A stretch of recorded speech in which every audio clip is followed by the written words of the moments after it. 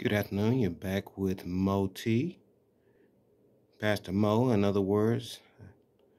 God shared another moment with me just now. Um, I was on listening to my church service online. The church, this my home church. I was watching, listening to their service on Facebook.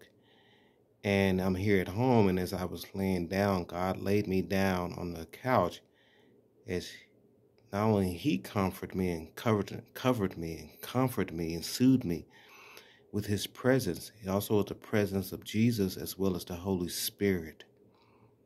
And he just moved me and I just felt his I recognized his presence, I felt it and I accepted it. And I gotta tell you guys, the tears slid down my eyes, but you know what? It was tears of peace I don't know if you guys ever heard that before. I know you've heard of tears of joy and tears of sorrow, but there's also tears of peace. All right. God bless.